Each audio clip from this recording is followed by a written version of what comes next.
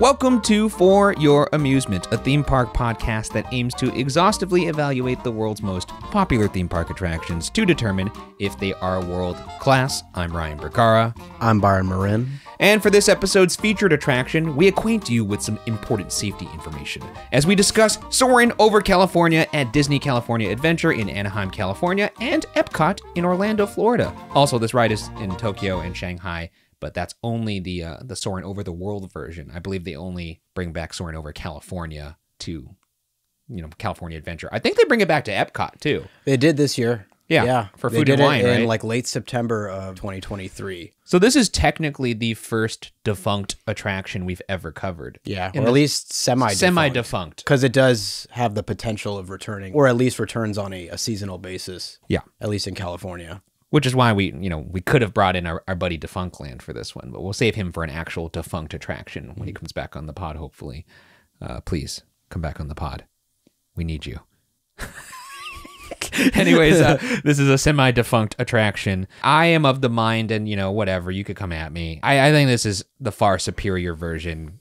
I, I know most park heads agree with that. I wonder how the general public feels about this versus Soarin' Over the World. Just because, like, I imagine, like, a general audience would like a newer film and, you know, perhaps enjoys the novelty of going around the world. However, Soarin' Over California, for most park heads, it hits a nostalgic place. It's one of the only good rides at California Adventure when California Adventure opened. And I don't know, it just it just brings me back to a time and place better than honestly most rides at Disneyland Resort, which is kind of incredible. I love this fucking ride. It's it's, it's truly a magical experience. I was gonna withhold that opinion until later. However, since since since you got me on the spot here, I will say that the original version uh, has a certain magic Yeah. that not many modern Disney attractions are able to emulate. Yeah. That I don't think the new version quite captures. Do you think that's just caked in nost- nostalgia though, and that's like No, I think I think there's just some sort there's an intimate feeling that comes with uh soaring over California. I see. So you get to spend more time in the details And less uh, like, oh, there's the it's like where's Waldo of locations? Like there's the Taj Mahal. Yeah, it, it just like it- yeah, it's just like low hanging fruit. It feels like with the world version, whereas mean the oranges? California version featured locations that I still haven't been to today. I mean, not that I've been to all the world locations, but to have all these locations that are like in our backyard, essentially. That's a good point. I, I guess like because the soaring around the world version is nothing but banger locations technically, it does kind of feel like let me guess where this is, and I'm more caught up in that than actually being in the moment. Whereas the soaring over California, yeah, they're somewhat famous locations, but really you're just taking in the environment rather than, you know, trying to figure out do I know my geography? Which Yeah. is we'll get into that maybe a little bit more later, but you know, good to address that up top. But for now, why don't we get into some history? June 5th, 1972, the Magic Kingdom at the newly opened Walt Disney World Resort introduces If You Had Wings, which was a slow omni-mover dark ride sponsored by Eastern Airlines, which essentially took guests through show scenes that featured rear screen projections of various travel destinations. The attraction also featured a one-of-a-kind mirror room scene, which gave guests the sensation of soaring over mountaintops. How did that work? I just kept digging for videos and it's just there's not like really low light back in the day. So all the only description I could get is a mirror room. So I guess it featured two projectors and I guess they use mirrors to make it seem bigger than what it is. Oh, I see. I mean that's the impression I'm getting. If anyone hmm. out there actually can dig up some footage that you could actually like see cuz like I looked at POVs and it's just like pitch black. yeah, has anybody who listens to this podcast Um, been on "If You Had Wings," which sounds like a Sarah McLachlan song? like it's the goofy ass title. I guess I get it because, like, you know, if you had wings, you could go everywhere. I suppose. basically it was a commercial for Eastern Airlines in a way. But over the years, this ride would go through multiple name changes, but the theme of the ride remained the same flight and the destinations you can enjoy via whatever airline, such as Delta, was willing to sponsor the ride. The different names it received over the years were If You Could Fly, which was after Eastern Air dropped their sponsorship. Yeah. Then Delta Dream Flight, which is after Delta picked up the sponsorship. And then simply Take Flight, which was after Delta dropped their sponsorship. This attraction would close permanently in January of 1998 and be swiftly reskinned to the Buzz Lightyear Space Ranger spin attraction that still runs at the Magic Kingdom today. Oh wow. But prior to Buzz taking over at the Magic Kingdom, interesting developments were taking place during the 90s in regards to bringing another flight inspired attraction, a spiritual successor, if you will, to life at another Disney park. On November 11th of 1993, Disney, led by Michael Eisner at the time, formally announced an effort to bring an American history-inspired theme park to a plot of land near Haymarket, Virginia. One of the lands to be featured in this park was called Victory Field, which would have been themed to a World War II airfield and featured an aviation inspired simulator attraction. However, due to strong pushback in regards to the location of the land, in addition to Michael Eisner's health at the time and the tragic loss of company president Frank Wells in 1994, Disney cancels further development of the Virginia park. As a result, Disney Imagineering shifts their focus to California's second gate, which would become Disney's California Adventure. In 1996, they brought ideas for an aviation inspired attraction back into the fold for the development of California Adventure. The ride was envisioned to hang riders via cables horizontally into a massive OmniMax screen to simulate flight. When you say hang riders, do you mean like people in a fucking harness? You know those like racks at a dry cleaners that move clothes up? Oh yeah, yeah. Is something like that. I'd like to be like a hanger on one of those bad boys. Just go for a little ride, like the door coaster in Monsters Inc. Essentially, If the, only. the door coaster that never was. That is. And this ride concept uh, never was as well because they hit a significant roadblock as the ride system they were conceptualizing would require multiple floors to load the amount of passengers they wanted, which was out of the question due to their limitations of budget and the extensive construction required to pull that off. And this is uh, early stages of California Adventure, which they were working with no money because of the failure of Disneyland Paris. From my yes, it was. I think it was California Adventure was built for like around six hundred million dollars, which is almost half the price of what their two thousand seven renovations were. It's also $1.1 two hundred million dollars less than Rise of the Resistance, That's that's or 200 ridiculous. 200 million dollars more rather. So under the budgetary constraints that they had for California Adventure, the Imagineers had to get very creative with finding a solution for this ride system. And the solution is found over a Thanksgiving weekend by Imagineer Mark Sumner, who pulled an erector set out of his attic and was able to use string to crank all three rows of ride vehicles up into what would be a massive concave screen. I've heard this story so many times. I'm sure any park head has.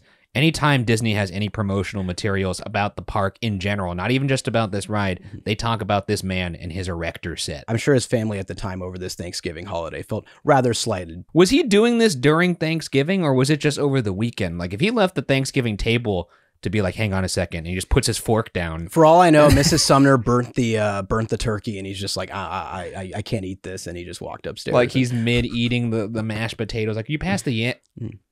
Eureka. Drops his fork, goes upstairs. look. I think Mom, where's my erector? If he's anything like me, he thinks turkey on Thanksgiving is very overrated and had better things on his mind. Fun fact about Thanksgiving Hmm. is it sucks ass. So the result of this is the Imagineers getting a green light on what was named at the time Ultra Flight. That was the working title for the attraction. While construction on California Adventure takes place, film crews spend multiple years getting special flyover permits in order to shoot aerial footage on IMAX cameras for the ride, which they shot at 48 frames a 2nd in order to make it basically a smooth flying experience. That's two times the normal that you would see in a movie theater, which is 24 frames per second. Just Yeah. for all you folks out there that aren't mm. cinema heads. So, anyways, everything comes together in time for Soarin' over California, the attraction we are covering today, to open with Disney's California Adventure on February 8th, officially 2001. Although the park as a whole was met with harsh criticism in its opening years, Soarin' over California was the unanimous exception among park guests. Meanwhile, on the other side of the country, Epcot was in need of a new attraction to improve its land pavilion. Their contract with Nestle at the time was expired, and they feared that Nestle would not renew. So they wanted to bring something fresh, something new that could draw guests and foot traffic back into the land pavilion. Reese's. Mm. Oh, Nestle That would have been a cheaper option. Um, that makes no Reese's is definitely higher tier than Nestle. No, they have to be. I don't know, but It's they're also superior owned by they're also owned by Hershey, and there's Hershey Park up in uh, Pennsylvania. So, Ooh, I didn't There might be realize a com- candy bars were big in the theme park game. That's oh yeah, That's Little, right. Uh, a little tease for maybe some uh, some rides to come in the future. That is Hershey true. Park, Pennsylvania, a pretty fun place. I uh, got to enjoy it over the summer. well, I'm sure you did. What were the other opening day attractions at California Adventure? Oh gosh, opening day. Grizzly. So you got Grizzly River Run. You, You, got had that. You got that shitty Golden Zephyr ride. Golden Zephyr, which somehow is still you know spinning guests around in the world of mediocrity. Was Screaming since. there? California Screamin' was an opening day park attraction. Wow. Goofy Sky School uh, was that was actually called Madness. was called Mulholland Yeah. Madness. There's Jumping Jellyfish. There was Maliboomer, which was that Oh, S&S. I remember that one. The that the, the S&S launcher. launched uh, free fall type ride. and then uh, Superstar. Limo. Superstar Limo, which is now Monsters Inc., was there. Orange Stinger, which is now um, Silly Symphony Swings. Oh yeah, I remember that. The big orange. I actually like the orange. I didn't mind the orange. Well, we'll get back to this one. We'll get back to Epcot over in Florida. So their solution for the land pavilion was to build a version of Soarin', California over there. They construct the 60,000 square foot show building behind the pavilion and connect the two buildings via long hallways, which would become the queue. The entrance to the ride, however, would take place on the bottom floor of the land pavilion, replacing the show entitled Food Rocks. You guys have been unplugged. Simply titled Soarin', the cloned attraction would open on May 5th of 2005 at Epcot and would quickly become one of the most popular rides at the Walt Disney World Resort. I kind of wish they would have never done that. Honestly, we've talked about this on this pod before. There's nothing wrong with a juicy exclusive for a park. You don't need to have the same rides at every park. Food rocks. I highly encourage people to go check out footage of this this wacky ass ride. It's it's demented. Now put your hands together for the utensils.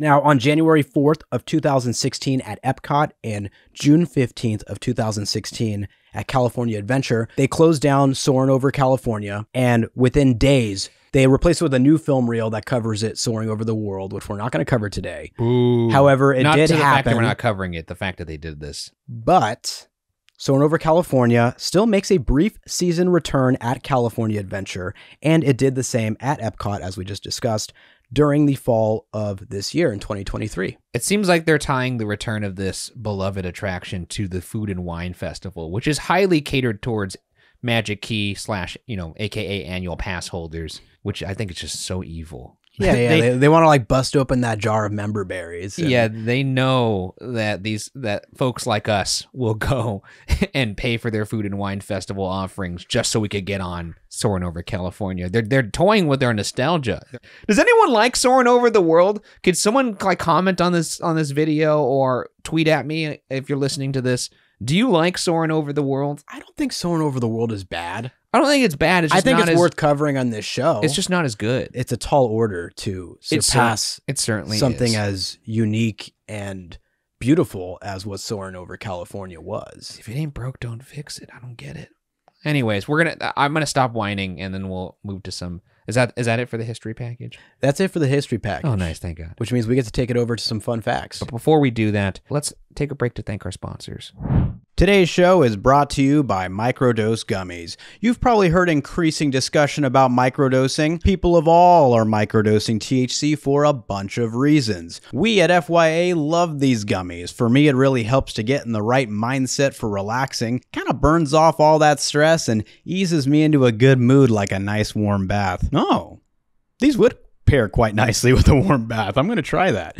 But folks use it for all sorts of reasons relieving pain or anxiety, boosting your mood, spicing up the love life a little bit, maybe, kickstarting your creativity. The list just doesn't end. All I'm saying is that there's a ton of benefits, and if you're interested in finding out how microdose gummies can work for you, here's how. To learn more about microdosing THC, go to microdose.com and use code F. FYA to get free shipping and 30% off your first order. Again, that's microdose.com code FYA Microdose.com code FYA for 30% off. All right, let's move on to these fun facts. The ride is 4 minutes and 51 seconds long, feels longer in a good way. It has an operational capacity of 1,879 people per hour and a theoretical capacity of 2,088 people per hour. I guess it's because there's obviously going to be some mix between the operations when they're not, you know, going at full uh, scale. So the theoretical is like if everyone was like really clipping, they get 2,088 people through here per hour. It has an estimated cost of 100 to 125 million dollars. That can't be true. 100 to 125 million doesn't make a lot of sense to me just because the park itself cost only 600 million dollars. That means a sixth of the park's opening day budget was spent on this ride, which I guess isn't crazy. I don't know what they went through in order to get the photography done on this Oh, ride I have some. well. I have some fun facts because it took that. i think the filming itself i don't think was as strenuous although i think they had to like land the plane every 45 minutes or so Yeah, and i've heard that the los or angeles helicopter, helicopter, helicopter sorry. They had to land the helicopter every 45 minutes because that's just the amount of i could think film Yeah, that makes like lasted sense. at the time. And then on, on top of that i actually hear that the los angeles flyover scene was test footage. Yeah, and they weren't able to actually they ran out of time or something like that where they actually weren't able to do the proper flyover scene and they actually had to change like the frame rate or something like that I guess that footage looks a little wonky. I'm just more thinking about like the logistics of having an IMAX camera in a fucking helicopter. I don't know if you've seen a reel of IMAX film. It's enormous. it's bonkers yeah Uh, and I imagine the mags for this bad boy are huge. Like that camera is unruly. So just that in the tight confines of a helicopter, having that hanging Yeah. out of a, uh, the side of a, an open door in the air sounds insane. But i can't imagine that took that many millions out of their budget Um, No, no. i mean it is a, a big show building it is a new ride system for sure. so i'm sure a lot of money went into that development All that's to say, we don't know how much it cost. This is a number we found online. These are fun facts. That means I, I had fun while researching them.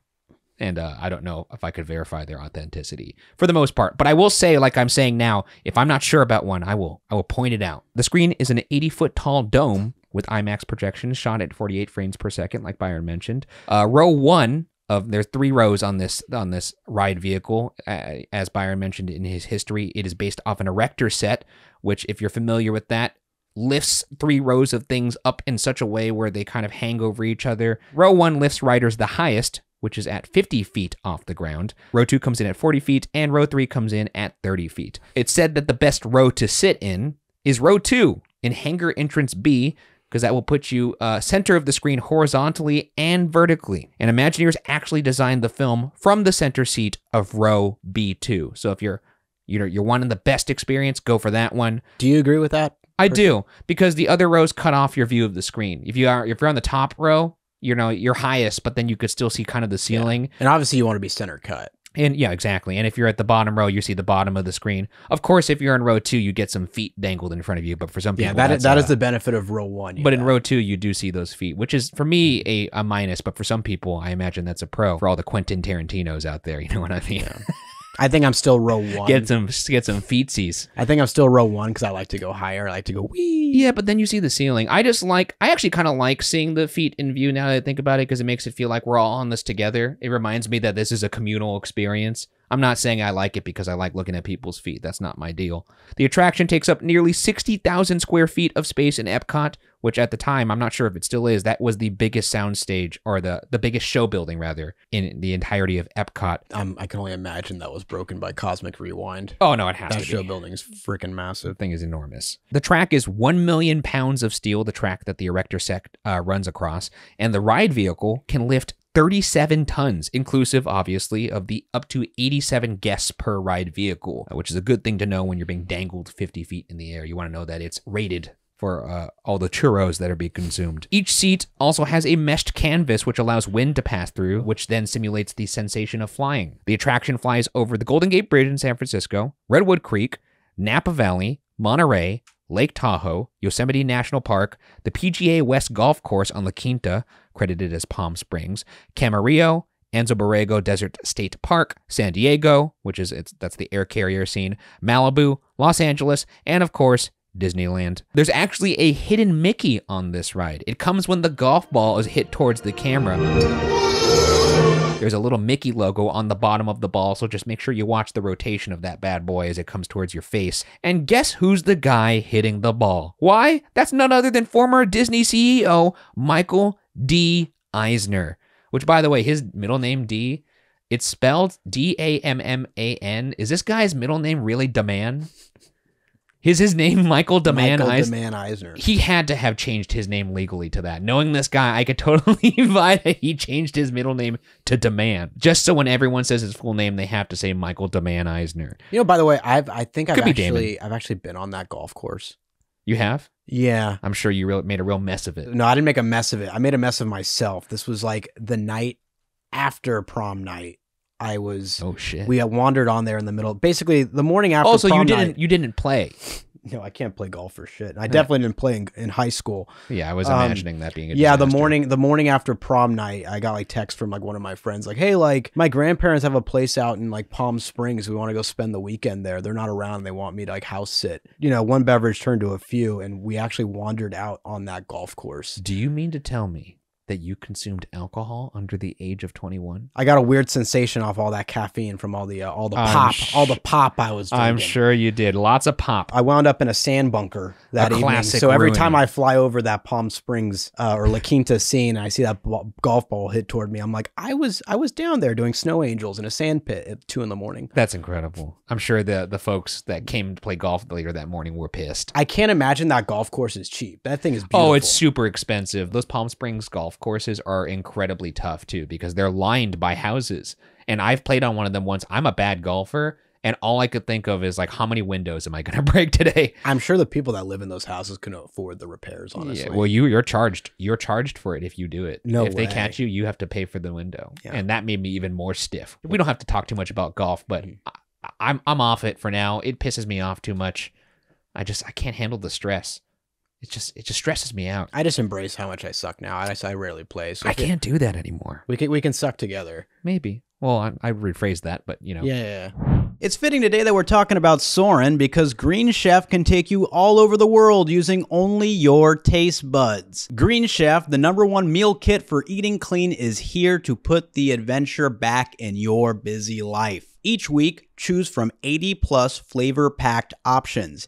Easily customize your meals to suit your lifestyle with preferences like keto, vegan, vegetarian, fast and fit, Mediterranean, gluten free, and protein packed. And Green Chef knows that great recipes start with great ingredients. Green Chef only includes unique, farm fresh ingredients, organic whole fruits and veggies, and premium proteins. So you know that you're eating well and eating clean. What I love about Green Chef is the menu changes so often. Because they're choosing from in season ingredients, the recipes you're getting will reflect the season as well. Eating clean is not just about eating light. Green Chef offers real, wholesome foods that don't just fill you up, but also support a healthy lifestyle. It's more than just satisfying hunger, it's about feeling good with every bite. It's time to stop grabbing and eating whatever and start eating the way you know you should be. Go to greenchef.com slash 60FYA and use code 60FYA to get 60% off plus 20% off your next two months. That's greenchef.com slash 60FYA and use code 60FYA to get 60% off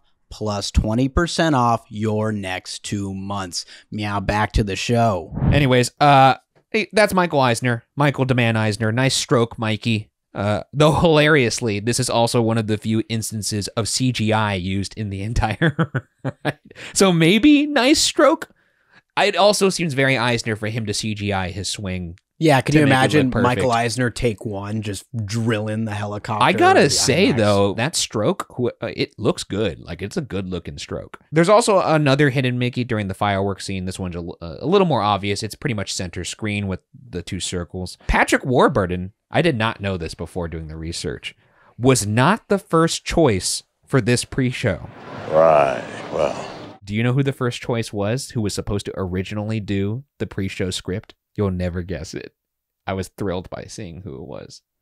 Is it like an A-list actor? Oh yeah, Can't it couldn't have been David Spade, right? Or David Spade was your A no, not actor like well at that the time. Well, it's he- got to be was- he David was, Spade. He was Kuzco at uh, he, he was Kuzco at the time. I'm just thinking of other. oh, I see. You're just going straight from the Emperor's New Groove cast. I see that. Uh, Was no, it it- someone that was like also involved in like Disney films at the time? no, that's or- why it's so odd. I'm just going to give it to you. It was none other than A-list actor John Travolta.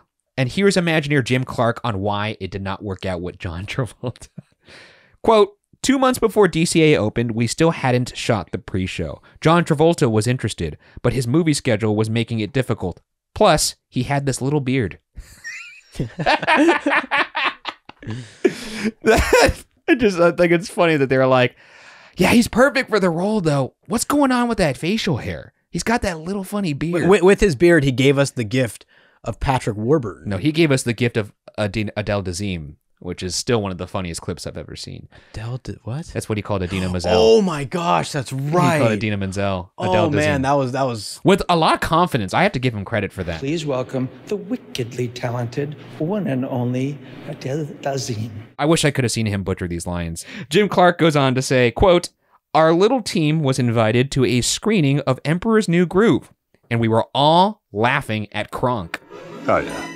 It's all coming together. The flight attendant was originally just going to give a very simple safety spiel, but the role was expanded a bit after Warburton was cast. End quote. Patrick Warburton delivers, in my opinion, and we'll get into this in the good, I think it's the best on ride video performance of all time. now. Did you see Emperor's New Groove before experiencing Soaring Over California? I don't know. Because I will say this when I first saw the the the pre-show, I don't think I had. I just remembered thinking, who's that guy with that silky voice? Cuz I had never watched Seinfeld either. And so I know he's a he has roles in Seinfeld. I just remember thinking, I fucking love this guy and his voice. Best ride performance of all time. Congratulations, uh, Patrick. You don't listen to this podcast, but if you do, just know we salute you and we value your work and your contributions to theme park history. Next fun fact the original and best version of the soundtrack. This is another crazy one. The original and best version of the soundtrack was written by the Academy Award winning legendary composer Jerry Goldsmith, who composed some of my favorite film scores, including 1999's The Mummy, starring Brendan Fraser, Rambo First Blood, Gremlins, Alien, Chinatown, and The Omen, just to name a few. I'm curious if you know this, Byron, because I did not know this. This is a little insight on how Jerry Goldsmith got the composing role. According to Jerry Goldsmith, Imagineers brought in the famous composer for a trial ride through on the attraction with only the film and the vehicles and obviously no score yet. He emerged from his seat in tears. Fearing the worst, Goldsmith assuaged their concerns, apparently saying, quote, everything is fine. It turns out that those were tears of joy. Goldsmith explained that he had two loves in his entire life music and flying. And some of his greatest memories came from flying gliders with his dad over the dunes where LAX was eventually constructed. Goldsmith then reportedly said to Imagineers, quote, I'd do anything to be part of this project. I'd even score the film for free. End quote. He was paid. That's the next fun fact. uh, and that's fun that's, for everybody. That's that's astounding. I, I, I did not know any of that. I thought that they just hired him. They're like, "Hey, we're doing this ride. Could you make a little score?" And then he just happened to just slide out a goddamn classic.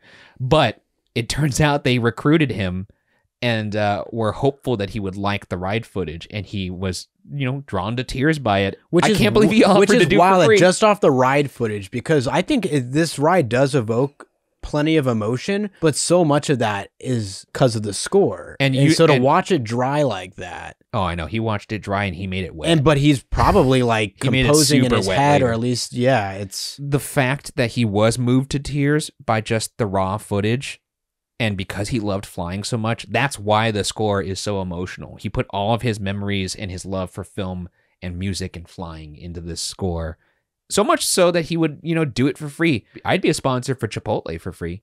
I'd hawk burritos happily. Of course i'd want chipotle for life you'd be in a pre-show for free too. Let's be real. I would be in a pre-show for free for sure. Disney, you don't even have to write me a check. I'll pay you just for me to be able to be one of the dudes in the front. Like, let's say it's like a disaster where like, I don't know what's going on. There's shit flying. I wouldn't say shit flying everywhere. Maybe they'd have to bleep me. but uh, you know, I'd be one of those guys that's looking to camera with shaky footage. It'd be goofy, but I'd love to do it. Well, like I said, if I'm ever in an on-ride video, I'm bringing every bit of my uh, very limited talent to do the best job that I could. The hangar portion of the queue at California Adventure features a Wings of Fame exhibit that commemorates planes and pilots throughout history, and the Epcot queue itself was designed to have the vibe of a modern minimalist airport terminal, which they nailed it. More on that later.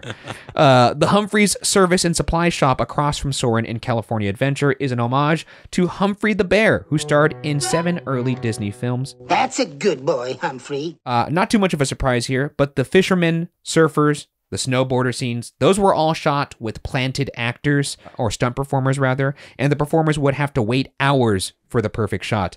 In fact, those mountain climbers in the Yosemite scene, they were hanging from that mountain for six hours, just waiting for this shot to happen. it's fucking crazy. Uh, airspace over Yosemite, speaking of Yosemite, was protected, so it took several months to secure permission to film there, and the recording was the first helicopter flight over Yosemite since the mid 1900s. Other locations, such as Monterey or Point Lobos, took a full year to secure, as those areas are considered marine sanctuaries, and filming could have disturbed the native wildlife. In fact, in the film, you could see a boat from the National Oceanic and Atmosphere Administration, and uh, that is actually monitoring the animal and bird activity while filming, just to maintain the sanctity of this area. So they had to go through a lot of hoops, lots of red tape just to film at these locations, which probably also then contributed to the budget. However, by far, the most insane fact to demonstrate how difficult filming this attraction was is within the filming of the Anza Borrego Desert. It's the scene in the film with the horses riding in the sand. This location required Disney to enlist archaeologists to perform a paleontological, paleontological, that's a hard word to say, paleontological, eh, you got it. You know what I'm trying to say. Uh, they had to do an assessment, uh, a paleontological assessment, in order to preserve any artifacts that may be harmed by the horses or the helicopter carrying the camera. In other words, Disney had to comb four fucking square miles of desert for artifacts before any cameras rolled. That is bananas. Remember that scene in Spaceballs when they're literally combing the desert? They had to do this for four square miles just so they could film in this in, in this little desert area. They really went the extra mile to just get the real thing as opposed to CG. You have to salute it. You have to salute Well, it. I'm glad we get an opportunity to appreciate it further than I could have ever imagined. Also, fun fact: those horses were uh, paid actors as well, plants. Those weren't wild horses. If that wasn't enough, the jets used in that sequence are so fast that in order to coordinate the helicopter in the air and the jets flying over for the shot, the helicopter took off a couple miles from the location, while the jets took off 200 miles away at the same time at Nellis Air Force Base for them to meet on time when the shot required.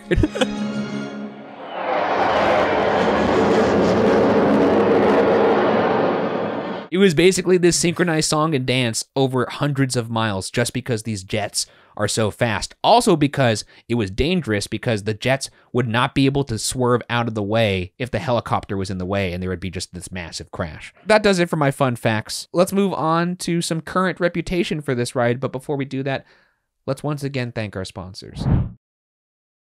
And we are back. Moving on to current reputation, let's discuss how popular the attraction is today. What are the average wait times? Where does it fit in the current theme park landscape? What holes did this bad boy plug in? How do people generally feel about this attraction? Okay, as like I had mentioned in the the end of the history segment, this was I guess a big redemptive. It was the crown jewel of California Adventure. It really was. It was it was the one piece in California Adventure when it opened in 2001 that had that, you know, that magic. Yeah. um, yeah. that the rest of the park was lacking. That reputation has remained the same all the way till its closing. As a matter of fact, when it comes back for, you know, its seasonal appearance, yeah. it looks like there's actually an uptick in wait times. According to ThrillData.com, the California Adventure version of this ride, its all-time average wait time is 44 minutes. Can you guess the longest recorded wait time? Oh man. This ride does get quite the line. I'm gonna have to guess three hours. Nailed it. Nice. 180 minutes. Hell yeah. Can you guess what year this was? I'm gonna guess 2022 when it was re-released. 2023. Oh, April cinnamon. 4th. That's really close though. April 4th of 2023. So when it was re-released. And by the way, this was commonly like an hour plus when it first opened. Even even with California Adventure getting Mhm. less than half the attendance of Disneyland on the other side of the Esplanade, this ride was still getting an hour plus wait. Well, I mean, that's also because it was one of the few rides that were A, operational and B, good. I couldn't get really good data in regards to Epcot's version. I they didn't they kind of bundle it all together for whatever reason. California Adventure is all able to get like a separate uh, Yeah. average wait time, but I can say that for Soarin' over California when they brought it back this year, according to an article posted by allears.net, there was a considerable uptick in wait times. That makes sense. And I was actually there in October and got to ride it for the first time in many years as Soarin' over California. And I can say, when frequently checking the app, it was around an hour wait time where usually that scans. I went to Disney World in October of 2022 and I waited like half an hour. Oh my god! I just realized if you were going to Epcot when this ride opened as Soarin' over California, you were getting a twofer of Soarin' over California and Living with the Land in the same building. I can't think of a more relaxing tandem than that. That is amazing. That's Yeah. Gummy Town USA for me. So to put it simply, especially with current reputation, like the Land Pavilion and its popularity, they succeeded in what they were trying to do. Although I don't think Nestle sponsors the land anymore. That would be odd. Moving on to first impressions. Uh, let's recount the first time we were on this ride and what initial effect it had on us. Okay, so the first time I went on this ride, I believe, was in January of 2001. So this was during the annual pass preview days. Only annual pass holders were allowed during these specific days in January because the park, I believe, opened in February of that year. Yeah. And I remember waiting a little over an hour for it. I was with my entire family. This was back when the land was called Condor Flats. Now it's Correct. just all considered Grizzly Peak and they Yeah. made it more like woodsy. Yeah, yeah. Um, but back then it was like Condor Flats, and it was an area of the park that was all dedicated to like aviation themed. Um, and you know, it looks like a massive hangar outside. Still does. there was that Kinda. jet that's like blowing out mist Yeah, I remember out that. front. I don't know if that mist ever works anymore. If they even have, do they I have the jet? I don't just- think, I, think the jet's gone. is it gone completely? I think it's now used like to, a watchtower. Wow, yeah. I used to really enjoy that jet and blowing out mist, A especially on hot yeah. days. Yeah. But the I do remember the first impression of this ride. And of course, I had no idea. This was before I was like really doing research for all the rides Yeah. at California Adventure, so I had no idea what I was in for. My first impression was not necessarily not necessarily a great one in regards to the queue because it is a very boring set of switchbacks. And this is where you really start to feel the budget cuts is in not necessarily the ride experience here, but in the queue. Like once you get inside there's just like a long hallway that goes down to where like the stages split off Yeah. but and they have like you know tributes to like aviators who kind of paved the way and Yeah. like took aviation tech forward you know like the howard hughes and other you know iconic a- i'm not an aviation It's like a museum, and they call it the uh, the wings wings of fame. yeah but before you get into there which is like basically like the last 20 to 30 minutes of waiting you're in this eh, this brutal set of switchbacks which luckily when i went on it it was january so it wasn't that hot outside but i can only imagine it being like a rough go Yeah, it's not for great. guests that opening summer It's also not great when you're in that like giant tunnel that basically like now it's like just a COVID tunnel essentially.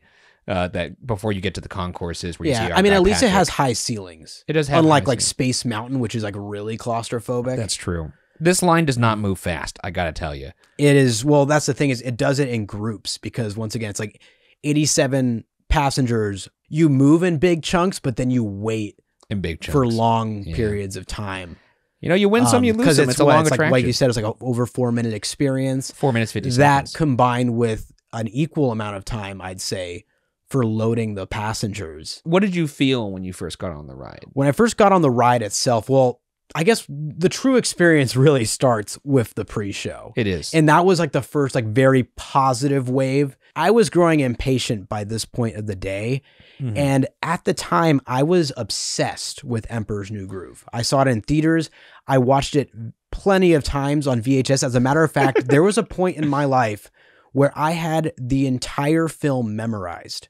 I admired it. I loved it. And I was obsessed with the character Kronk. And as soon as Patrick Warburton started saying those pre show lines, I immediately was like, that's Kronk. Oh my God. This is the guy that plays Kronk. Yeah, I guess it would be weird to not know the actor and then to just be so familiar with the voice, and then it's the exact same voice because he doesn't put on a voice to be Kronk. He just talks like Yeah. Patrick Warburton. I didn't even look it up to confirm. Like this is before the smartphone era or anything like that. I just knew hundred percent. Oh my god, this is the guy that played Kronk. I do have memories of people behind me in line going, "Is that Kronk?" Like, like you could hear Yeah. it in like the in in the in the queue, which is really really really fun. So immediately fell in love with this pre-show. It definitely upped my mood Yeah, and got me pretty amped for the ride.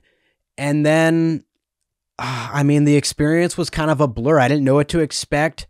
Part of me was a little let down in terms of the motion of the ride. It wasn't extreme, extremely thrilling, yeah, but I was also in awe of how unique it was. I remember getting swept away by the music. hmm I think as a kid, I didn't appreciate the intimate nature of it, the uh, just kind of the delicacy of Yeah. floating over California. There's like a stillness to it that is Mhm. probably not appreciated by kids. and I think what really helped with my experience of the ride was how much the parents enjoyed this attraction. My yeah. mom being one of them. Oh, this ride This- is 1000% mom approved. It Moms is love this ride. You could go on TikTok and look uh, at people having filming their moms, even on the new Soarin'. I, I remember at this point I had been on a couple flight simulators or motion simulators rather. I've been on Star Tours, you know, uh, Back to the Future when it was uh, alive. Now the Simpsons ride. And I just remember thinking, this is the best simulator I've ever been on. I don't think I thought of it in that term because I was a child, but I was like, I love this. This is great. And I've always been like an anxious fellow. So, like, this ride was one of the few things that just kind of like brought me to center and I just was chilled out. And, uh, and that was a combination of things. The music, I've always been affected by musical scores. And then also just the scent and then uh, they do a good job of mimicking the motion with the screen, but also just the air blowing on your face and the mesh seats. I just remember being completely relaxed by this ride and almost mesmerized. And I remember my mom also loving this ride. In fact, my grandma loved this ride as well. This is just a family approved ride in general, but I, I find particularly with moms, they love it. They can't get enough of it. That does it for first impressions. Let's move on to the good and the bad. But before we do that, let's once again thank our sponsors. Moving on to good and the bad. What are the good and bad things about the ride? And we're just going to go through these one by one. We're going to start with the good. And this is just a little list I have here, as always. Top of the list, I put already mom approved slash family approved. We already talked about it. Moms dig this shit. Number two, Patrick Warburton. He's just got a bullet point all to himself. I've said it before. I'll say it again. The greatest on ride performance of all time. This guy has a voice given to us by the gods. Just just silky smooth. Here's some of my favorite lines, and by some of them, it's pretty much the entire script. It's not a long script, but when the doors to your flight open, please take a seat and store all carry-on items in the underseat compartment. This includes cameras, purses, hats, and of course, these little beauties. and then they have this great cutaway to this balding guy who has the Mickey ears on. He kind of gives him a look of like, I don't want to, but all right, I'll put them down here. Uh, always love that little cheeky He moment. takes this little Mickey hat He off. takes his head. Mickey hat off. He's he's he's having a good time, as we all are. Uh, next line is. If smaller aviators don't measure up to the height indicator on the seat, just put the belt through the loop in the center strap before buckling. And then the iconic Nice work, pal.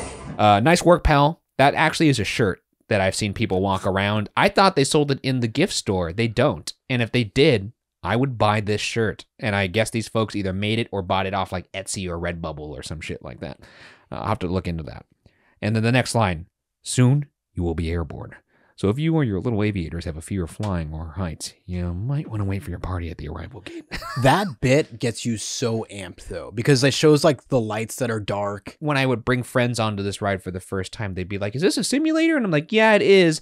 But you're still moving, and they'd be like, "What do you mean?" And and, and in this pre-show video, at this moment when, when Patrick Warburton says this line, it does show the people getting into rows of seats and then them lifting off the ground, which does make you kind of feel like, "Oh my god, are we actually going to fly over things in this ride?" Now I wonder if this production team or this film crew that did the pre-show for Soarin', if they did other Disney attractions. It's like a stroke of genius. It is a perfectly produced pre-show video. Also, it's it's excruciating to be sitting in this little like switchback like little pen they have you in when you're sitting in the concourses waiting to go into the actual theater because they have this animation of the Soarin' logo. I recall that when you are sitting here for a while, it is excruciating to just watch that logo spin around Because it loops and it loops and loops, and all you're doing is just like, dude, when am I gonna see Patrick? I want to see Patrick, and the joy that you feel when this man walks out onto the screen with his funny little suit.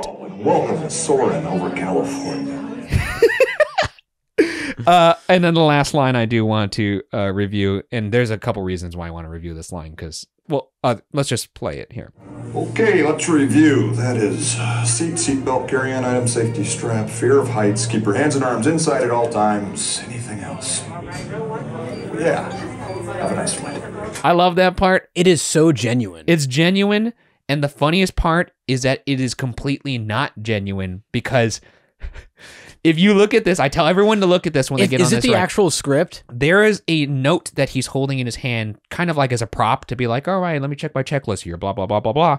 If you look at what he's actually holding, it is the fucking script for this VO. It's like in courier font and It's in cur- right? it's in script format. Anybody who's ever written a, sc- a screenplay will recognize the, the the blocking of the text on screen. It is literally the script that he is reading from, and it makes me laugh even more because this guy is so fucking nice with it that he didn't even memorize his lines. He's just reading from the page. He's doing a cold read, essentially to camera, and it flows and is now remembered as one of the coolest lines ever delivered on a ride. But he looks straight down the barrel for that have a nice Exactly. He takes that pause. He's like, I've got this one in the noggin. Let's drop the script. That's how nice I am. That's how good I am about delivering these lines. My voice is so silky smooth, you're not going to even notice the fact that I'm blatantly reading from the script.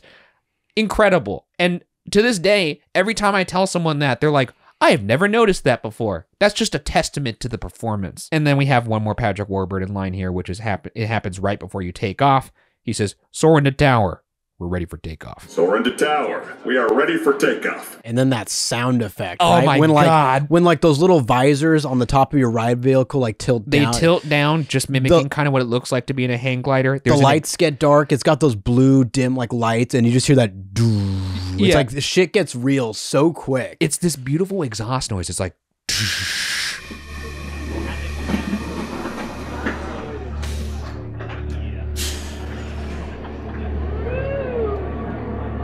and then you actually start to hear the beginning music cue of the Soarin' soundtrack by Jerry Goldsmith as this moment happens. All this happens at the same time, and I have to. I'm not gonna lie, it's up there in terms of moments on a ride where I get absolutely amped.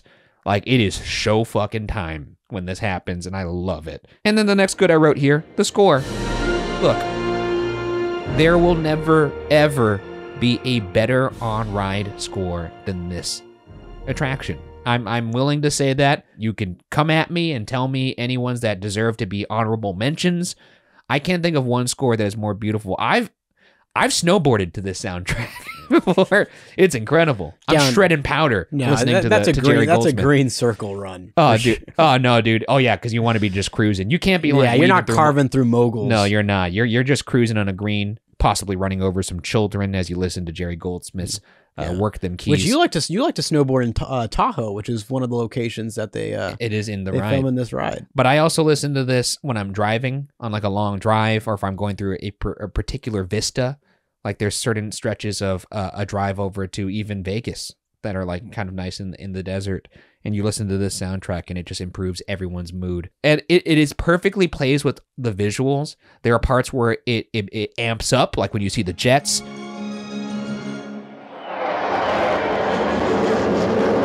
There are parts where it gets real quiet, like when you see the sunset of the beach. There are parts where it kind of uplifts you, like when you see the, the, the waterfall in Yosemite. It's it's poetry. And then you have the smells. I mean, I I know that there was a lot made about these smells, and like you know, it kind of seems goofy to be like we took some Glade and sprayed it in the air. Let's pat ourselves on the back. However, when paired with the score, when paired with the visuals and the wind blowing on your face, it is absolutely magical to be smelling the forest when you're looking at the redwoods and the canoes, or to smell the ocean when you're uh, riding over the tide, or to actually almost, it feels like maybe I'm the only one who who feels this. When we go to Yosemite and you see that waterfall, am I the only one who feels like you can actually feel the mist of the water blowing on your face? No, It I is- do. It is crazy. They really, they really sell that. I do think also just to add to like in terms of smells, especially on this attraction. well, there's one that reign- reigns supreme. Oh yeah, and that's I'm sure we're gonna bring that up. But just like the art form of producing these smells in terms of like theme parks at large, such an overlooked uh, art form. I really. I get the feeling that this is one of the few. Uh, this is, this isn't true probably, but it feels like this is the first attraction to really utilize smell in a meaningful way in an attraction.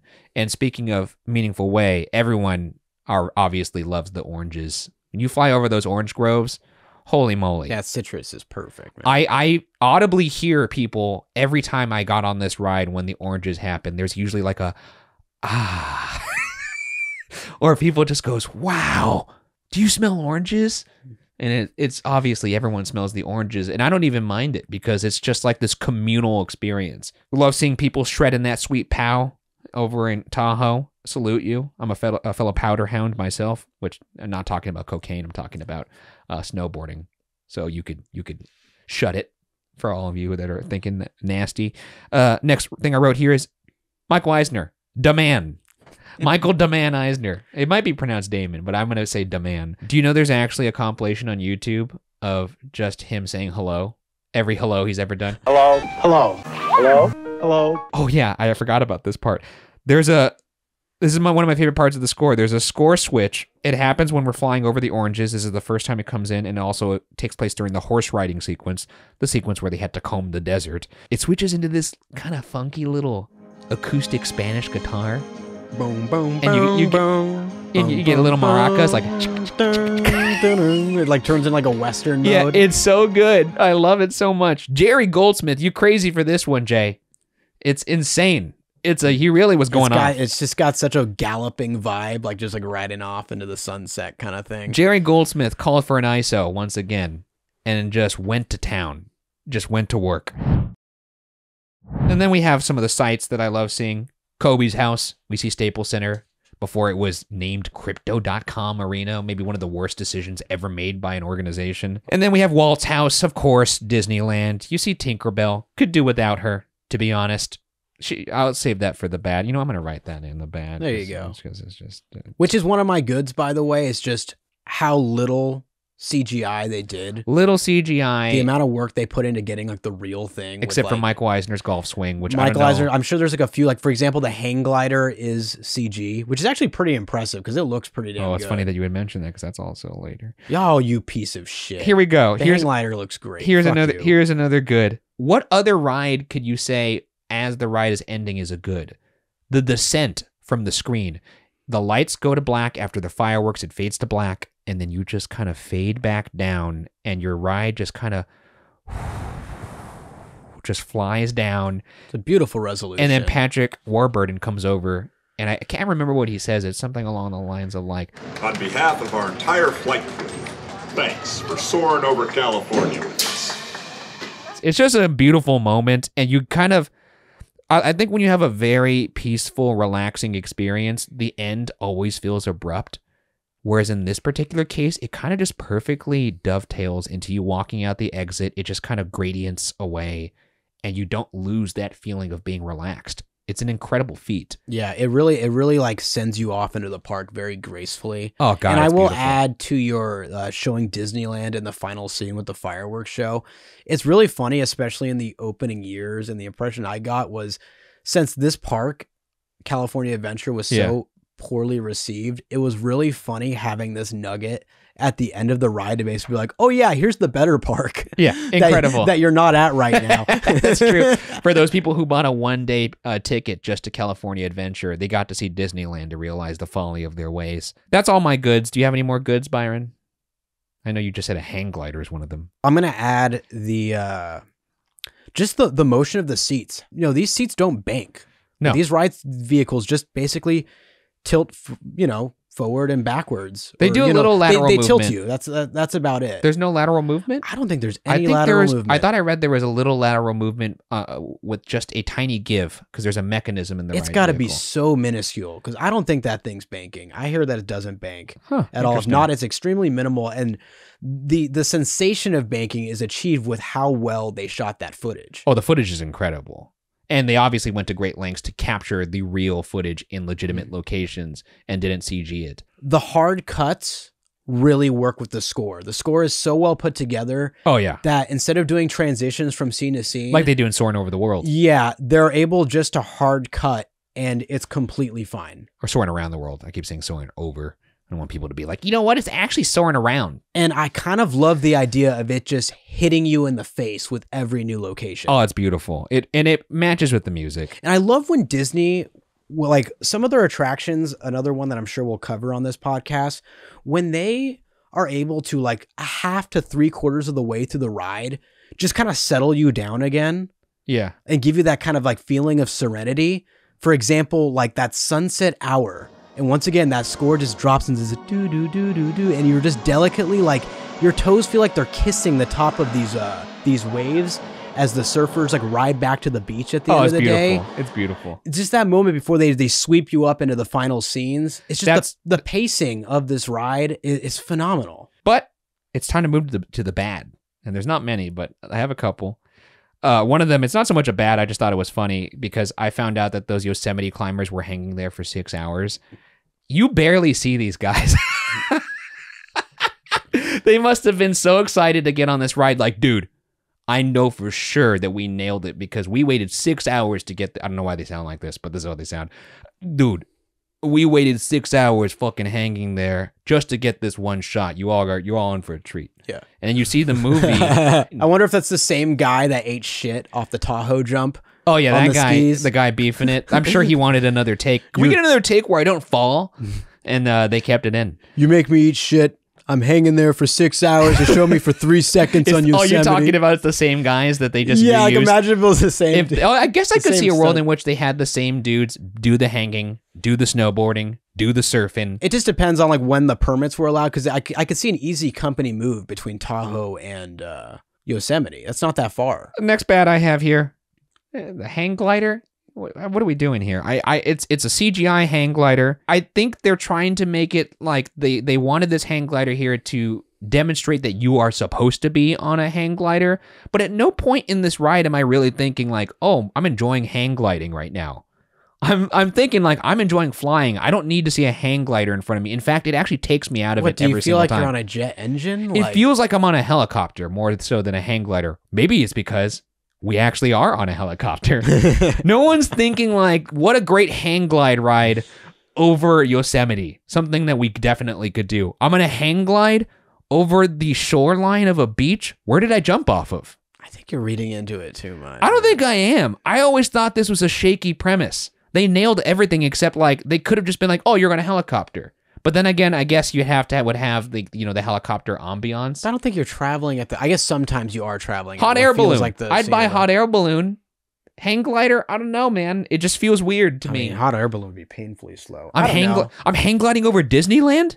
Where did I jump from? Tower of Terror? Back when it was that? It just doesn't make any sense to me. There is a Wings of Fame exhibit in a hangar in this place showing all the famous aviators over time.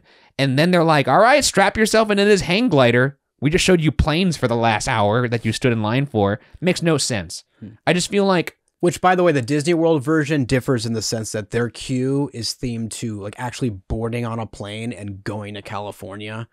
Yeah, see that makes a little more sense to me. It I looks could like a terminal. It's still boring as fuck. I could but- accept that, but the hang glider guy going as far to CGI a hang glider guy in, I could do without it.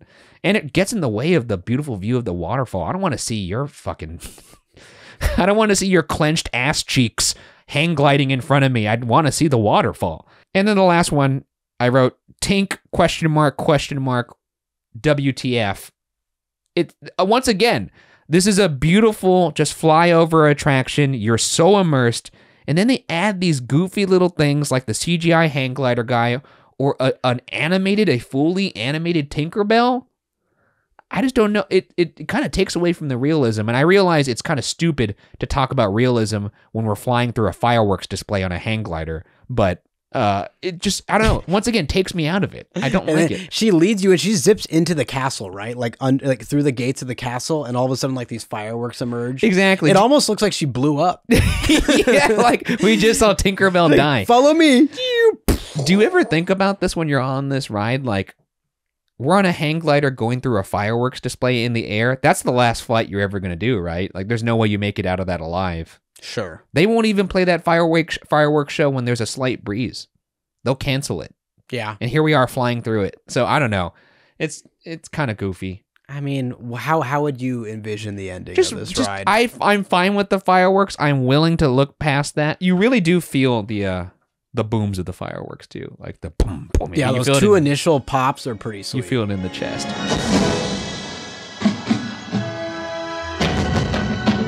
Do you have any bads that you want to talk about?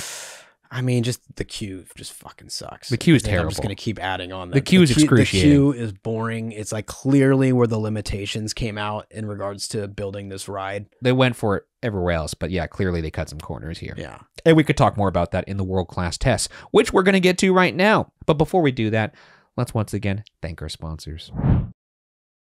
Okay, moving on to the world class tests. This is a rubric of 10 tests painstakingly devised by Byron and myself to determine if an attraction is world class. To receive the highly coveted world class pass, the attraction must pass 7 out of 10 tests. A score of 6 out of 10 leaves the attraction up for debate for world class pass standing. And anything lower than 6 out of 10 is an automatic fail. No world class pass for you. Okay. Test number one. Your stomach. so this is the most my stomach's grumbled in my entire life. I'm fucking starving. the, the test number one the average tourist test. Would the average tourist have a hard time getting on this ride? Is there a long wait? Is there a complicated queue system? I mean, in the initial years, it always had a long wait, but I mean, it's hard to miss and it's still manageable, oh, It's very manageable. especially like considering the quality of this ride. 30, 40 minutes usually is where this bad boy is hovering when I see it. And even still, if you're lucky enough to have purchased Genie Plus and you have Lightning Yeah, Lane, then it's really easy. then it's really easy getting on mm. this bad boy. But oftentimes, especially since there are so many more e-tickets that are at California Adventure as well as at Epcot, yeah. there's, I mean, there's plenty of times, especially in Yeah. the morning where this is a 30 minute wait. You or could make the less. argument that, that this is kind of like almost like a forgotten attraction for, by a lot of standards. Because at California Adventure, you have Radiator Springs, you have Guardians, Mission Breakout, you have Incredicoaster, much flashier toys. And in Epcot, you have Test Track, you have uh, obviously Cosmic Rewind, which fucking rules. You have the World Showcase. So you could see how this could kind of fall by the wayside in both of these parks. And I think it's fairly easy to get on these. Let's make a verdict here. I mean, obviously, this is a pass for me. Easy pass. Yeah, so an easy pass, one for one. Moving on to test number two, the Lesley Stahl test. Would you be willing to wait 60 minutes for this attraction if you've already been on this bad boy at least once? Soarin' to Tower. I'm waiting 60. I would wait 60. I would wait 60. I'm not going to lie, it's not an easy pass because I have seen this attraction attraction be around 30 to 40 minutes. I have been on this attraction obviously plenty of times and having done so already, I still would wait the 60 for it if I really was feeling Soarin'. In fact, you could maybe have a little line beer or a little Yeah, if you're doing the, I guess you could do that at Epcot too. You, You could. could There's plenty of places to grab a beer and run in a line. but- Yeah, or you know, and just get yourself ready for this this this experience because I feel like this is one of the the few rides where you really need to be not you don't need to be, but you can really you know amp yourself up for the for getting relaxed. yeah. Um, and, and as an adult, I'm starting to appreciate this ride more and more. So this is a pass for me. It's an easy pass. Uh, it's not an easy pass for me, but it is a pass. Two for two. The smartphone test, test number three. Does the queue of this ride have enough to keep you off of your phone? No, definitely not. I think this queue sucks. You know, it's funny because the Disney World version Yeah. almost forces you to get on your phone. They they have like this Play Disney app trivia oh, game. yeah. It's one of those while you're waiting. It's a massive projection that's on that hallway. And like I thought it was fun for like 10 minutes or so, but A, I'm using my smartphone, and B, it loses its appeal pretty quick. I'm like, all right, I'm tired of answering these trivia questions. And in the California version, it's kind of crazy to talk Outdoor about it. switchbacks. There's outdoor switchbacks, but it's kind of crazy to talk about a queue that has a themed hangar and it still sucks. Like, it's interesting because early developers of like queue systems, yeah, like one of their golden rules was like don't let guests visualize the weight.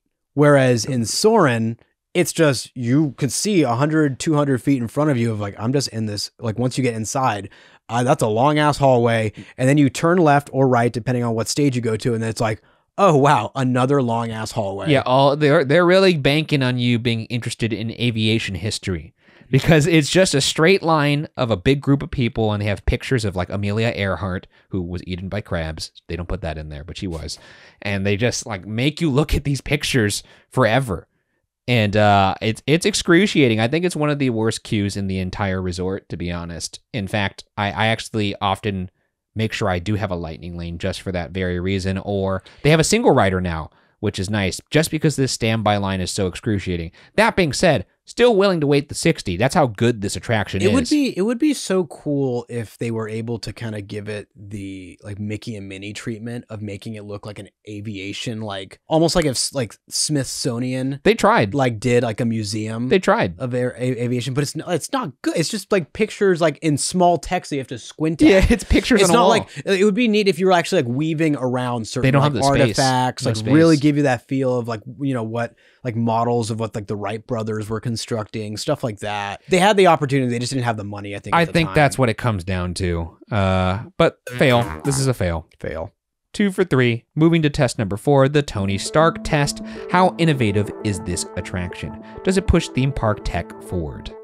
You know what? You don't have Soarin', you don't have Flight of Passage. I would agree with that because Flight of Passage is the most advanced flight simulator or just motion simulator that I've ever and been it's based on. on the ride system that was implemented here, And yeah, the ride system which is completely original. it was made by Mr. Sumner himself using his his family's erector set. You know, it's innovative in that sense. I think this is a pass. I think it's about as big a pass as you can give. There have been motion rides. simulators in the past. Yeah, but they're not like this. They're not like they this where had to find a air. creative way to give you that flight sensation. Also throwing you into a screen that must have been bigger than any screen at the time. Yeah, it pushed things. It pushed things forward. For The sure. IMAX camera. domed IMAX screen, a domed screen in yeah, general. it's. I think it's just a pass in so many different ways. Three for four. Moving on to test number five, the Hollywood test. Can this attraction be adapted for the silver screen?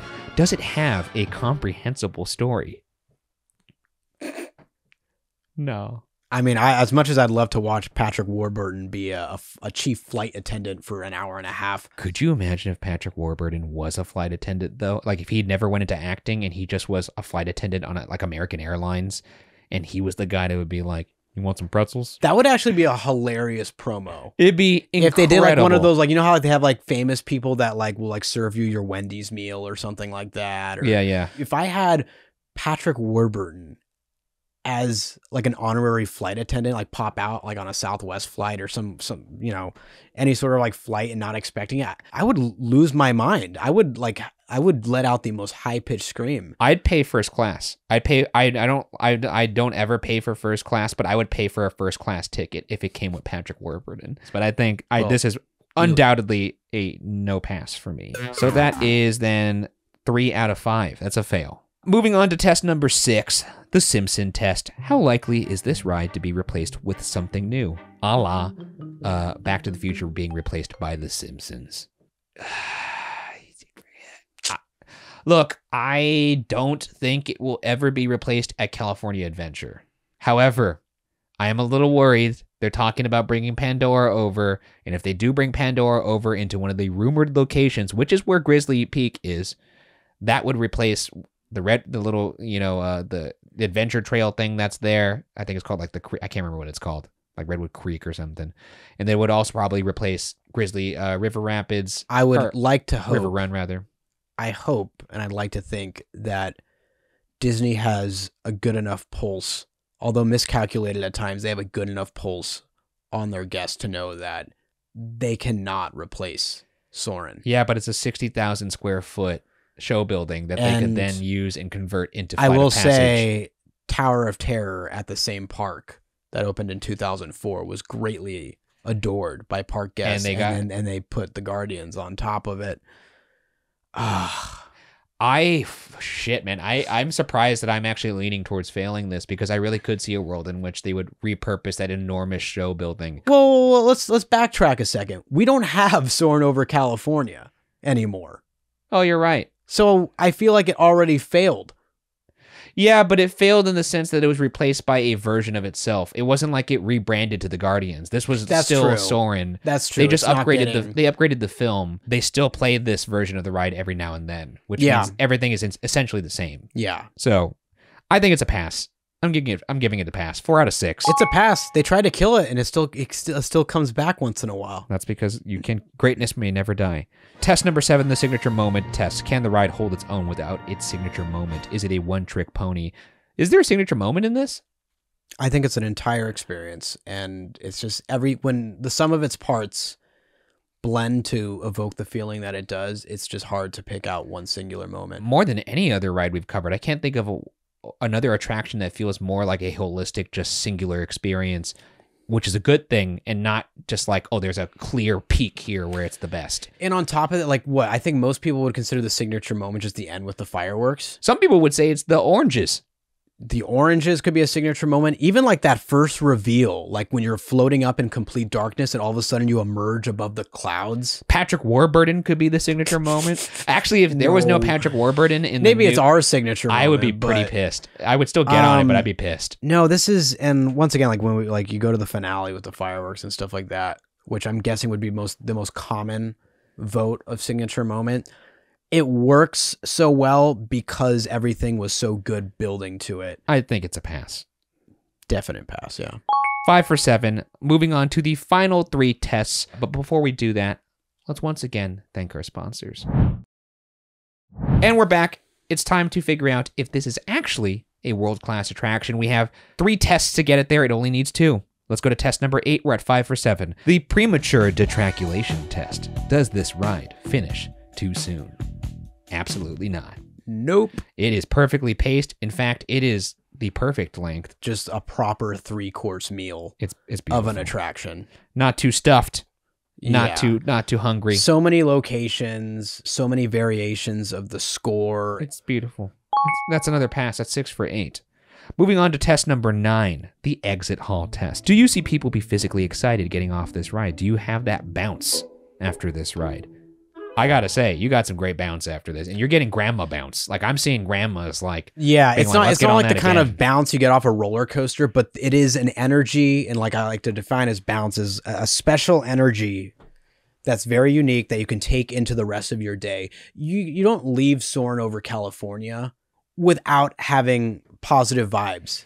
No, I, that- I I'm trying to think of another ride that you feel almost meditative. I can like deeply connect to the look of that exit hall, which is by theming standards boring as all fuck. That's true. But I always remember walking back up to ground level Oh, through that long ramp. You're surrounded by people that are just in the best fucking mood. They're in especially euphoria. when it's full of moms. It's inc- especially the moms that uh that have been on it the first time. yeah. And I'll bring this up in another in, So in, in to the be next just to be clear, you're only in a euphoric mood when you're surrounded by moms. yeah, you know, just my type, right? but but I do agree with you that I have very vivid vivid imagery of this, you know, blue lit exit hall kind of area, and then you go out to California Adventure proper, and you go up that little the little hill, the little like ramp. It's beautiful, and you're just talking. Most of the time, I'm talking about how good I feel. the validation you get for how you feel is surrounded by you because you have 86 other people. It's the only thing I could compare it to is after I meditate, I feel just completely clear and peaceful. And that's exactly how I feel after this. And I can't think of one other attraction that makes me feel like I've just meditated for five minutes. Uh, it's incredible. Uh, so that's a pass. Seven out of nine. Look, folks, it's a world class attraction. I don't think anybody had any doubt for this one. But uh, No, moving no brainer. But let's see if we can pad those stats, yeah? Moving it to number 10, the fine wine test. Has this ride aged well? Has your opinion of the attraction appreciated or depreciated since your first experience? Or if it's a new ride, do you believe it will age well? Now, this is a tricky question because, by definition, because they changed it into Soarin' around the world, I think that's a clear depreciation. However, But we're not reviewing Soarin' Around the World. We're reviewing- reviewing Soarin' Over California. and the ride Soarin' over California has done nothing but age beautifully in my mind. In fact, I long for it. I will go to the park specifically for when they bring this ride back, which they do. And they recognize that. It's a draw. It's a literal draw to get people to get to the park because they are bringing the ride back. And I'll, I'll summarize my feelings about this test with Soarin' Over California in this with this anecdote. I had not been on Soarin' Over California since it closed in 2016. Oh wow. I had not made it to the seasonal reappearances. So for the past what five to seven years or so, yeah. I've been experiencing Soarin' around the world. And for the first time since 2016, I was able to revisit Soarin' over California just around the time that I was actually visiting Disney World. A shout out to Kevin Perjurer at Defunctland, by the way, by bringing that to our attention before we were recording the Space Mountain episode. So I made it a point to go to Soarin' over California when they're doing the temporary release of it there. Yeah. I did wait 45 minutes in line. We get on the ride and we are sitting next to these two uh these two women in probably at least their 70s Amazing. and I don't know if they were really good friends or cousins or you know sisters Yeah. but they appeared very close. It was very obvious from their body language and the way they were kind of like stumbling in there, trying to, you know, abide by Patrick Warburton's rules. Yeah. Um, that this was the first time that they'd been on the ride. Of course, during the ride experience, revisiting all these scenes, the music, everything, I almost cried. I could see myself doing that as well. um like my girlfriend and I were just like just fell in love with it all over again. Like I really felt the contrast of Soarin' around the world by revisiting it because Yeah. I didn't watch any footage of this ride in years. I like yeah, yeah. so like I was I really felt like I was just almost like the closest thing you could get to riding it for the first time again. That's amazing. And when we floated back down to the bottom, like I really had like no words besides like just internally feeling like, holy crap, I didn't realize how much I missed this ride Yeah. in this form as Soarin' over California.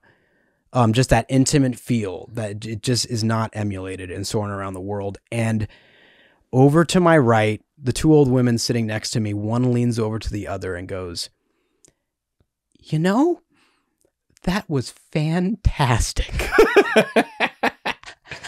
and that pretty much echoes throughout anyone that experiences this ride for the first time. I got to relive that and my appreciation f- for the ride since revisiting it this year for the first time in years just skyrocketed.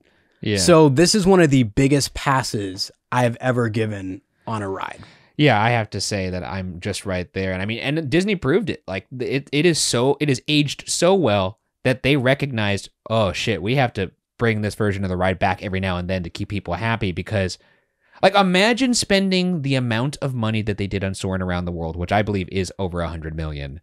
And and then recognizing like we put an enormous investment in this new version of the ride. However, people love the old version so much that we recognize we have to bring it back every now and then. Which is, I think, further validates us passing it on the Simpsons test because they basically did a reverse Simpsons. How often have you had a ride so beloved that after they take it away, to bring it back? And I will go as far as to say, and this is a, a prediction that is probably not shared amongst the majority of Disney park fans. I think we will actually get a permanent rendition of Soarin' Over California brought back to Disney California Adventure. I'd love for you to be right. I don't think you're right, but I'd love for that to be right. It might be wishful thinking because there's plenty of other Soarin' around the worlds. You got it in Shanghai. Yeah. It opened with that park. You got it with uh, Fantastic Flights, like a, a world version that is, in a way, like at least with the pre show and it's Yeah. theming before the flight takes place. And I think with specific show scenes at DisneySea. Yeah. So it's got a unique nature there. And then Epcot, if it remained as Soarin' around the world. around the world, and then it's it's it's exclusive stateside in that sense. It also makes sense in the park of And- Epcot because that's a world place. There's a world showcase that makes sense Mm-hmm. that it would be there, and it makes sense to be permanent at California Adventure. Oh, it, it's just a it's a perfect fit. It was the best like shining beacon of what California Adventure was when it first opened. So why not leave a little remnant of their opening, you know, as an opening day attraction. At least have something. I guess I haven't thought about it that way. I, I, you have made a good point. It would be in their best interest to make it permanent. How many other opening day attractions do they have at California Adventure? I don't know. Either way, that's a world class pass for this attraction. Uh, eight out of ten. Congratulations, congratulations.